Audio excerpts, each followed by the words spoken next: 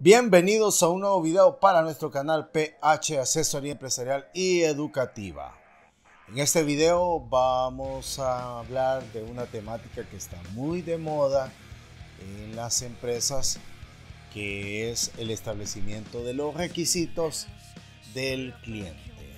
Pero para darle un poquito más de, enfoque, eh, cambiar un poco el paradigma de cliente, Ahora vamos a enfocarnos a los requerimientos, pero ya no del cliente como tal, y ya lo voy a explicar por qué, sino que a los requerimientos de las partes interesadas. Hace tiempo eh, las empresas se enfocaban al cliente como tal. Ahí hablamos del cliente externo y del cliente interno. El cliente externo es aquel que recibe un producto o servicio como tal y el cliente interno es el, son los trabajadores, son los que pertenecen a la empresa y que ayudan a que esos productos o servicios se desarrollen. Pero, como les decía, vamos a ir un poco más. Cuando decimos requerimientos de las partes interesadas, vamos a entender el siguiente concepto. Partes interesadas es más amplio. O sea, los clientes son parte de la parte interesada. ¿Quiénes son las partes interesadas? Son todas aquellas entidades, personas, medios eh, que dentro de mi entorno relacional eh, tienen algún tipo de interés en lo que se desarrolla. Ah, entonces estamos mencionando, por ejemplo, para una empresa, su parte interesada puede ser el Estado, eh, puede ser algunos ministerios, otras empresas, la sociedad,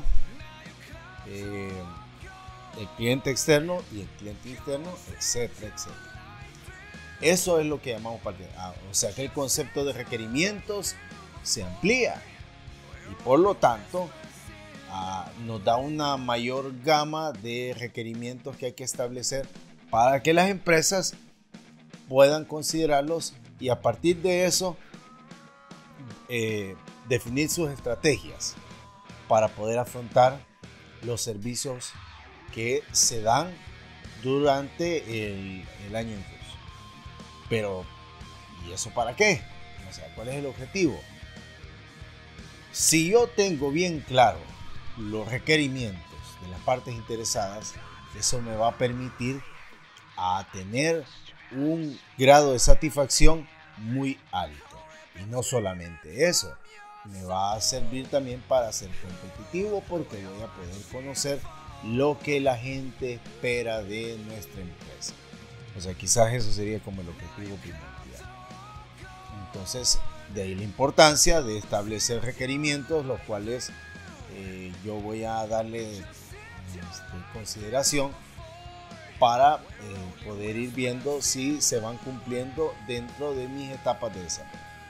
Ahora, hay que considerar lo siguiente. Los requerimientos, los requerimientos son para todas aquellas condiciones o aspectos que las partes interesadas esperan que le demos como empresa. Ahora, esos requerimientos, ojo, la empresa no debe olvidar lo siguiente. Yo puedo llenarme de requerimientos, establecer requerimientos eh, a montón, pero eh, lo único que voy a lograr es llenarme de tantas actividades que no voy a poder cumplir. Entonces, mi grado de, insatisfacción sube su, su, probabilidad.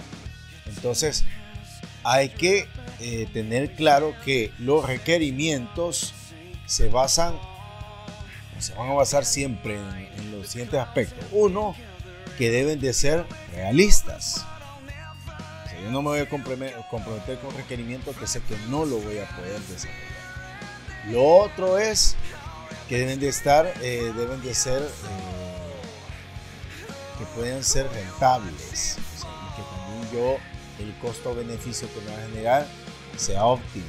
O sea, yo debo buscar esas condiciones porque si no es requerimiento, no voy a poder mantener el mercado.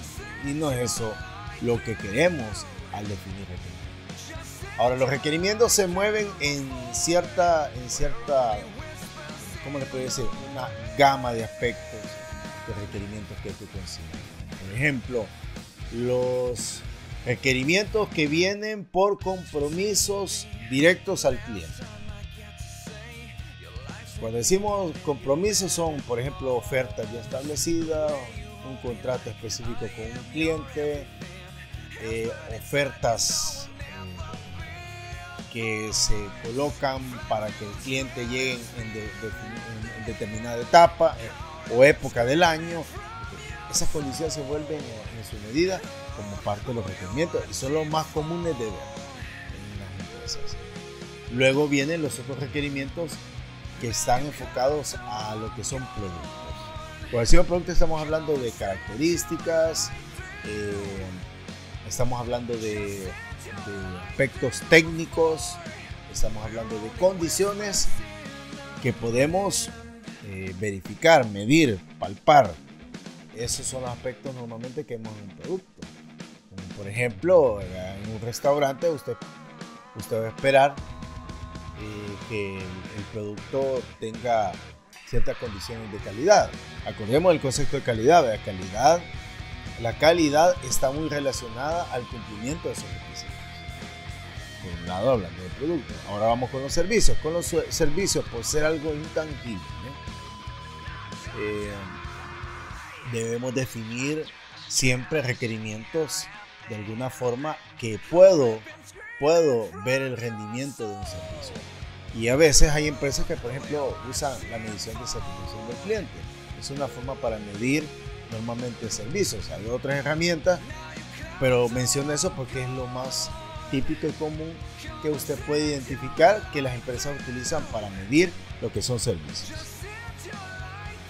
Y por último, lo que son los legales y reglamentarios. Son aquellos aspectos que ya que yo no quiera, debo cumplirlo. Por ejemplo, a esos aspectos que hay con el Ministerio de Salud, aspectos contractuales que hay con alguna entidad estatal, eh, aspectos tributarios, aspectos siempre relacionados de que son más externos y que debo de cumplirlos, ¿verdad? Porque eh, son aspectos legales que no puedo obviar y que se vuelven ley dentro de mi requerimientos. Ahora, todo esto, todo esto que hemos mencionado,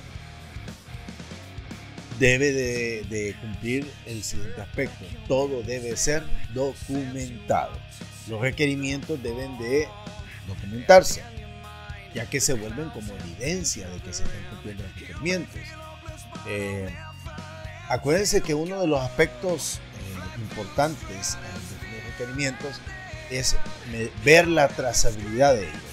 Cuando nos referimos a la trazabilidad es cómo un requerimiento se va comportando en el tiempo, desde que inicia una actividad hasta que finaliza. Eh, entonces la trazabilidad es uno de los elementos importantes dentro del establecimiento de los requerimientos. Porque al final, quizás como último punto es la revisión de los requerimientos. O sea, un requerimiento, acuérdense de que no va a estar estático por muchos años este, por la dinámica de los mercados, la dinámica de las empresas, los requerimientos, lo que ahora es, eh, dentro de un año ya no va a ser. Y eso es normal en, la evolución eh, de lo que son la prestación de productos o servicios en un mercado. Entonces hay que tener mucho cuidado en, hay que hacer una revisión periódica de esos requerimientos, que sea para eliminar, para actualizar.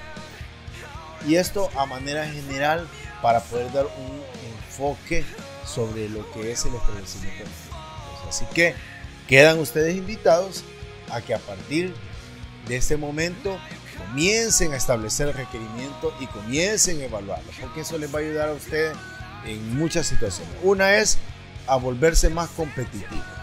Acuérdense que aquellas empresas que tienen bien claros los requerimientos y los van cumpliendo, se vuelven mucho más competitivos que aquel que no no tiene ni siquiera la mínima idea de lo que es la gestión de requisitos de las partes interesadas.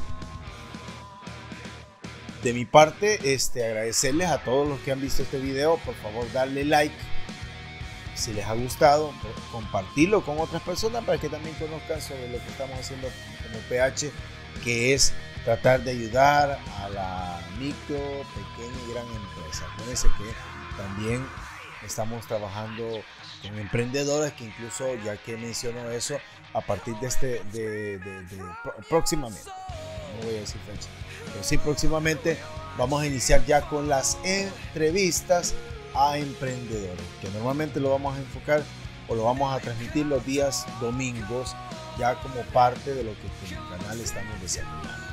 También recordarles que los días, eh, las transmisiones son los días miércoles, viernes y sábado. El día sábado, acuérdense que eh, Melvi hace su, su enfoque empresarial también. Y los días viernes le estamos dedicando a lo que es la asesoría educativa. Recordando a aquellos que este viernes vamos a continuar siempre con el tema de física, eh, pero ya con el tema de la tercera ley de Newton, para aquellos que estén interesados en verlo y eh, acompañarnos en lo que estamos haciendo en la parte educativa.